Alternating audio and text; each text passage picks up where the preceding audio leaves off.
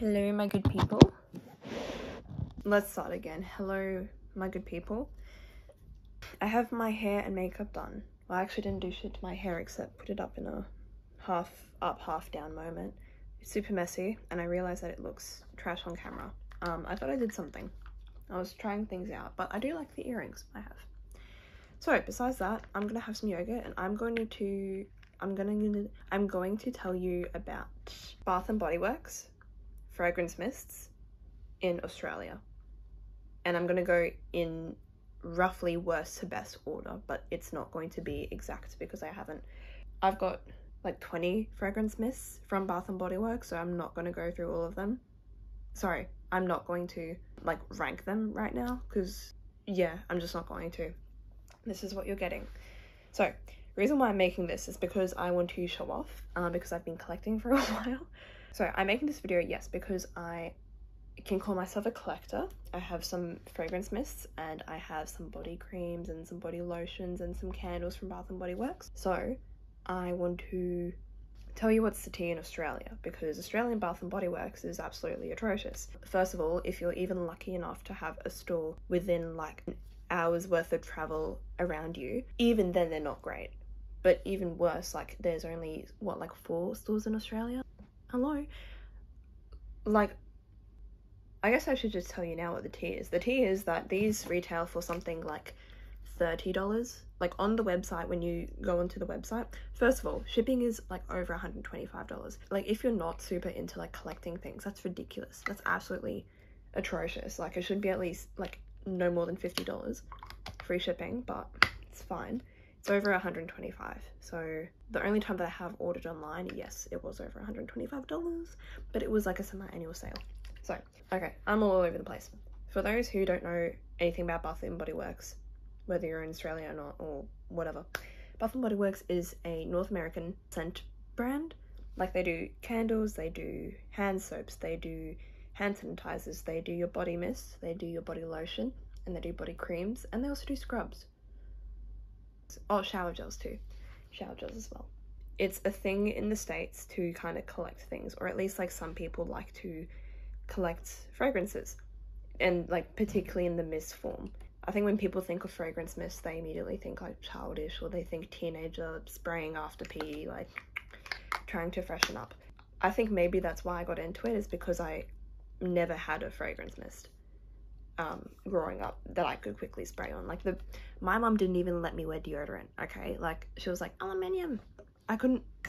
I sometimes I did when I'm like, oh my god, I just can't go, and like go back to class now after PE, after I've just sweated. I don't know, hormonal sweat I suppose is like a bit more icky.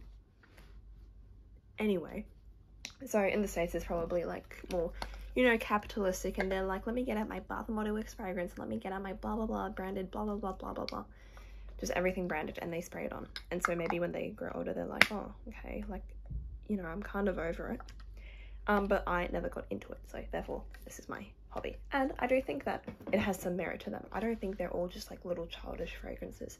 Um, hence why I've collected a shit ton um, that is maybe $200 worth, probably more, just of fragrance mists, and I have a lot more lotions and creams than fragrance mists. So look, I've put like a good amount of money into Bath and Body Works. In Australia, with their four stores, when you go in person and when you go online, at the original retail price for these fragrance mists is around $30 each. Now that is ridiculous. You are not getting your money's worth unless it's a super rare item to find. You're not getting your money's worth. Um, you should be buying your mists at no more than $15 AUD. And the way you can do that is you can sign up to their mailing lists and they tell you, like they'll send an email and they'll do promotions and they'll say, you know, $15 today only, or they have semi-annual sales. Twice a year, they have month-long, almost two month-longs, two month-long sale periods. And in those sale periods they kind of discount not all their products but but select products. So some of these you could even find for like seven dollars depending on how much they want to get rid of it pretty much. There's a large discrepancy between scents that are available in Australia and that are available in the US The US gets their scents like normal. If you're a consumer, they like if they say, you know, new release Halloween collection, you're gonna get that in stores. Here, you're not gonna get it unless like on very special occasions. We are also like, I want to say like three or four releases behind the States. The most recent thing that we got was Midsummer Night's Dream. However, I did actually check on the website a few days ago and they have added the fall collection, the one that had the little white badge on it and the really pretty packaging. I have not checked in the physical store that I'm lucky enough to be able to go to. Um, if they have it, I would assume they do, but we don't know because Australian stock is a bit not great. You know, I don't think Bath and Body Works is such a priority here as it is in the States. There's no culture behind it, like a community culture. It's just, I mean, I don't know anyone who collects Bath and Body Works fragrance mists. There are people in the store, but I don't know if anyone's collecting. Okay, I think I've gotten everything out of the way that I needed to explain. So I am going to rank these in. I'm forgetting some. Hold on. Actually, I'll just because I was just thinking, like, where's my least favorite fragrance?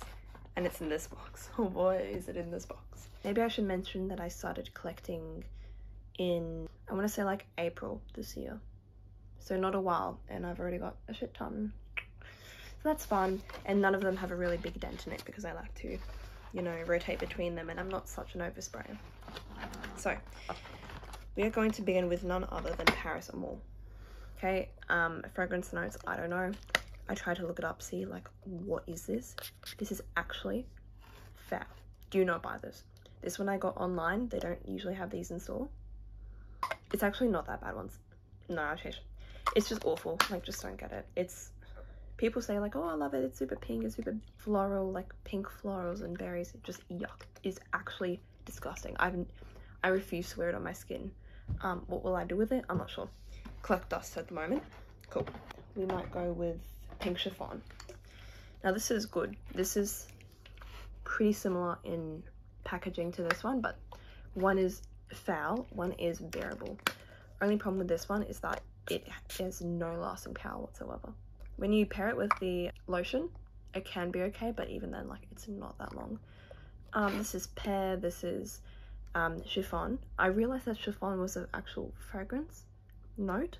I thought it was like just a fancy French word. I'm guessing it's a floral. Jokes, it's not actually a floral, but I don't know if it's a fabric or a cake. Does fabric have a smell? Does wool have a smell? Does anything have a smell? Please let me know. I'm guessing it's a cake. Ah. This one is nice.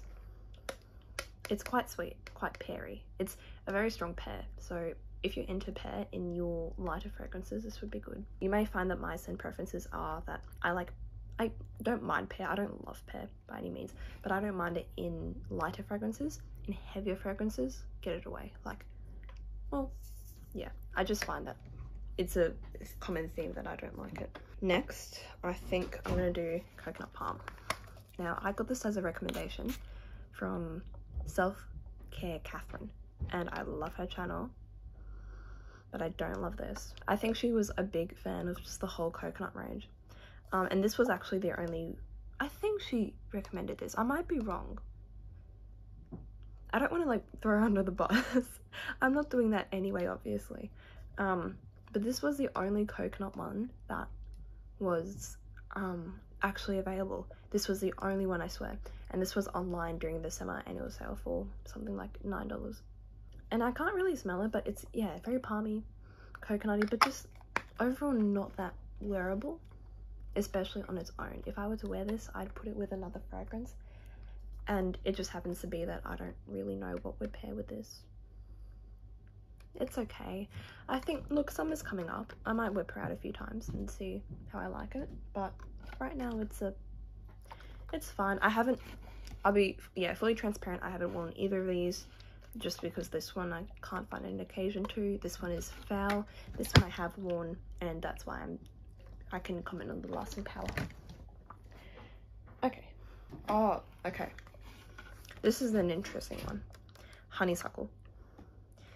This one has the fragrance notes on the back, which are apple blossom, dewy honeysuckle, and sun washed woods. I also got this in an online order, and I was like, I've never seen that before. Like, neither, obviously not in Australia, but not even in um, American videos. And I want to like it, and it's really nice. I'm just not, it's not for me. I want to say it's the apple blossom. I think if it were apple on it's fine and it were like quite crisp, I'd be okay.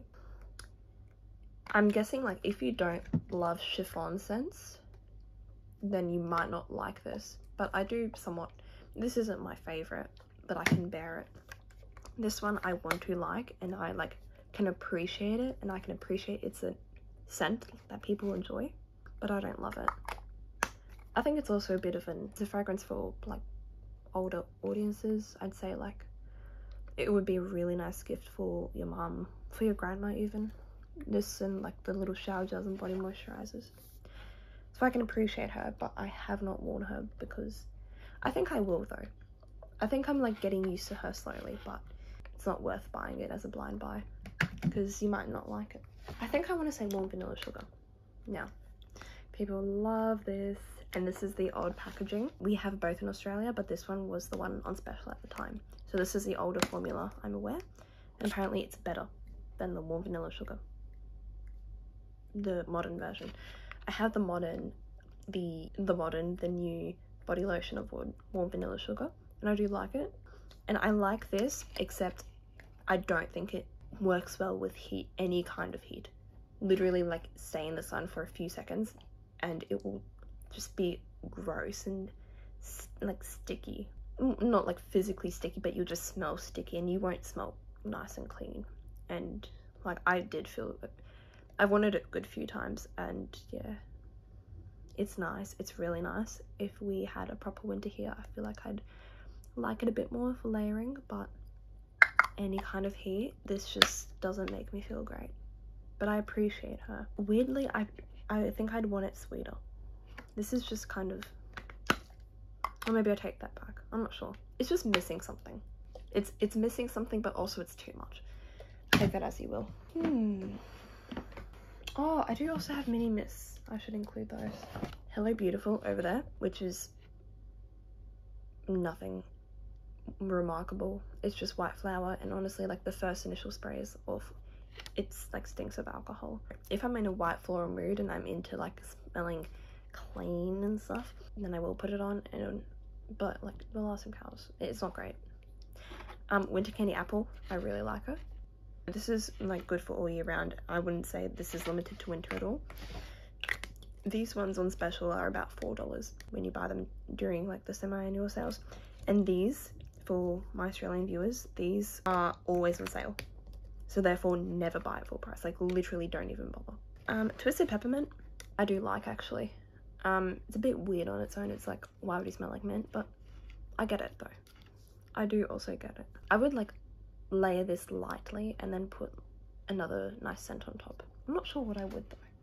Maybe something like kind of crisper. I'm thinking Magic in the Air, which I'll talk about later. This is alright. Frosted Coconut Snowball is like vanilla ice cream. It's so nice. I do love her.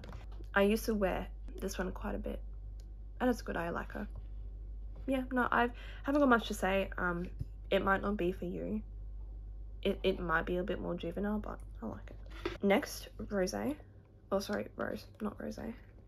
Um, I think I've worn this once. And it's, it's just Rose. Um, I have another Rose body mist that I prefer to this, but it's nice. It's nothing special. I don't really recall what the longevity was like, but probably not that great. Okay, I'll probably have to go with Cotton Blossom next. So this one, um, in Australia, they've recently come out with a body cream, or they've like stocked a body cream version of this. This is nice. This is really good. This is, it's it's what it is. It's Cotton Blossom. This is like nice light laundry detergent. Um, reason why it's not ranked as high is because it just doesn't last long at all. But, you know, like, if you're in desperate times and desperate measures are, are called, then you could spray this on your shirt and be like, this isn't great, but this is how we're going to make it work. That's what this is for. I haven't reached for her in a while. Not that my clothes have been necessarily clean. I don't know. Sometimes like putting fragrance on top of dirty clothes like just doesn't work. But sometimes it does. You just have to catch a vibe. You have to try it out a few times. I might do this one next. Um, just because I don't really wear her. This is Endless Weekend. I have the shower gel in this too, which I have not tried. It is underneath my bed with all my other unused things. This is super generic body mist. Like somewhat long lasting, sure, but you know, you can top up during the day and it's not gonna overpower anyone. It's just a body mist kind of thing. There's nothing interesting about this, if you know what I mean. That's that. It's a safe bet. It's a safe blind buy. This would be one of the ones that I would like spray after PE if I were, you know, sweaty and if I were cool and carried a little body mist with me and did my deodorant and did my body mist, that's what I would do. Hmm, I think I want to put Velvet Sugar. I don't really reach for her. I have worn her a few times, but lasting power is trash. Um, this is really nice. This is your kind of berries. Yeah, it's some days I smell it better than others, but it's yeah, it's it's not a gourmand by any means, but it's this is also in the same realm as this. These are just ones you can quickly spray on. Yeah, it's just like a very sweet fragrance. Lasting power is pretty awful. At least for me, I can't smell it. So therefore it's in that ranking. I'm actually going to pick... Mmm. I might pick Dahlia first. Sorry. Dahlia. This was one of the first fragrances I got. And this is identical but less sweet to Carolina Herrera's Good Girl. I've mentioned this in the previous video. Check it out here if I can figure out how to link it. We've been new. Um, so this one has fragrance notes. They are velvet dahlia petals, crisp pear, praline musk, and wink and winked. Velvet dahlia petals, crisp pear, praline musk, and whipped tonka bean. And this is, it's a nice fragrance. It's just a bit heavy, and the pear comment I made earlier, this one has strong, strong pear, and it's more mature fragrance. I learned through this fragrance that I don't love pear in more mature scents. But it is really nice. I'm not going to deny that. It's just not for me right now. I do have other things I prefer to wear, but I do appreciate her. And the packaging is stunning, but I won't be repurchasing in any other form of body care just because I don't love the scent. Bit too floral. People say it's grandma yeah, I guess so. But, like, it's good. There's no way saying it's bad because it's really nice and it's really long lasting. It dries down to be very sweet. So maybe that's why I don't like it. But, like, sweet pear. Like a dusty pear sweet. So, Dahlia. Oh, it's getting harder. Controversial. But I think I'm gonna place You're the One next. Oh, ho, ho, don't get mad at me. I know this is people's favorite thing. And I bought the Glowition, Glowition body butter before I bought this. And like, I don't really use it that often just because it's so glittery. I, did, I didn't realize it was a glittery body butter when I first bought it. And then, yeah, I, I don't love the formula. Also, it would get on my clothes and stuff, like the glitter. I'm not really about that. I don't really get the hype with this one. So the notes are white birch, velvety rose, and a drop of strawberry nectar. You're confident, sparkling, beautiful. You're the one, my bien-aimé. Um, bien-aimé? I've never heard of that saying. Huh. This is people's favorites. People swear by this and they're like, girl, it's a perfume kind of longevity. It's not. Longevity is not great and the scent is not that spectacular. It's just not. I'm so sorry, but I'm also not because you're just overhyping this for no reason. This is nothing special. I've worn it, I don't hate it, but it's just like, okay, you don't even last that long. Maybe if I had the body cream, but like without the body cream, doesn't last long. it's super like it's when I say it doesn't last long, it doesn't last long. Not even an hour for me. I swear I don't smell it. Mm-hmm, mm-hmm, mm-hmm. I want to put Sunshine Mimosa next. I'm getting myself into hot water. Okay, hear me out. I love the scent. The longevity is awful. and look at that bottle. Oh my god. And the little spritzer. It's beautiful. And it's a really nice citrusy scent. Um, the notes are bright, bubbly champagne and fresh citrus, but the lasting power is nothing. And also, I can barely smell it. I smell like champagne and a light touch of citrus. Like, I want to love her, but it's just not great. I think if you paired it with a body lotion, this could go well, but you know, a fragrance mist on their own should hold their own ground, you know? And like, I find that body lotions are sometimes even more fragrant than the fragrance mists. Okay. I think I want to do Tahiti Island Dream. This one was a online purchase and during summer annual sale. Um, I hadn't heard on, I hadn't heard about it on American Bath and Body Works videos. Um, I really like it. This is kiwi fruit. I like immediately get kiwi fruit from this. This is really pleasant. And I've just sniffed up alcohol, which isn't so pleasant. It's a very light, not great longevity, but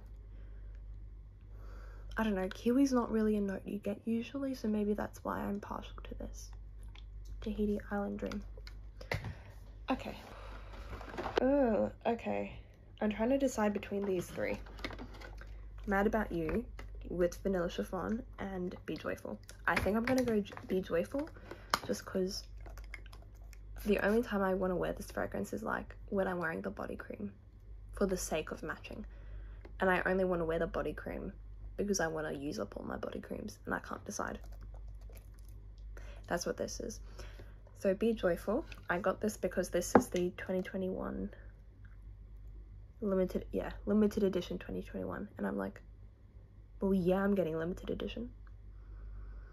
So this is, it doesn't have the notes, but it's something like mango, frosted clementine, and white flower or something. I get like cocktail from this. I get the same idea as Sunshine Mimosa just less citrusy. And the mango is quite strong. Um, in a way, I wish it were a sweeter mango because if I had not been told there was mango in there, I wouldn't have known. It's super light. It's a bit unremarkable. She's fine. Okay.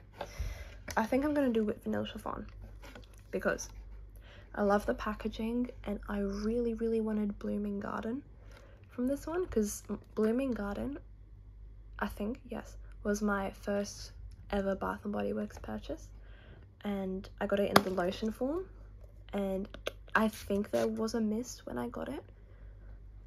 And this was like last year. When I wasn't collecting I was just looking um and yeah I really wanted to find the mist I was even ready to pay big bucks but I was like $30 is too much and thing is, you can't find it. So they'll bring it back during semi-annual sales, but you can't find it anywhere else. You can't even really get from resellers unless you purchase them from America. And in that case, the shipping is going to get be worse in price than the actual thing. This is nice, but it's very particular. You can't like, I can imagine not many people liking this. It's vanilla, and it's the same chiffon note as the um, pink chiffon. And I think another one I mentioned that might have it. The honeysuckle one, I think. I do like it, but it's quite particular and it's fairly strong. This one has good longevity. And the note that lasts the longest is the chiffon note. So if you're not into it, I'd recommend maybe, or if you're not sure you're into it, I recommend getting like a shower gel of a chiffon scented thing. So whether that be with vanilla chiffon, whether that be pink chiffon or anything else that you find the word chiffon on it um, I suggest getting like a cream or a lotion because you're more likely to use that than you are to use up a fragrance mist like I've you know with some of these I've used I've worn them plenty of times This one I've worn at least three times. I don't know. It's some kind of damp, but it's, you know, it's gonna take me a while, which is good. You want them to last long, but at the same time, like these are gonna last me a decade, honestly. And I'm planning to buy more. Okay, next is Mad About You. This one is actually my most recent purchase, I think. Well, one of my most recent. Um, this is really nice, don't get me wrong. This is really lovely. It's just nothing special. Pink floral, black currant. I take it back. Like, it's very wearable and then it's kind of a scent like, I don't know what to wear. That's where this one comes in handy. So like, I don't know what to wear. I don't want to be super sweet. I don't want people to like notice how I smell. Like, yeah. You know, like, you know, I want to smell good, but I don't want people to be like, she smells good. It's just like unstated in a way. This is fine. Longevity is not great. It's fine. It's nothing interesting.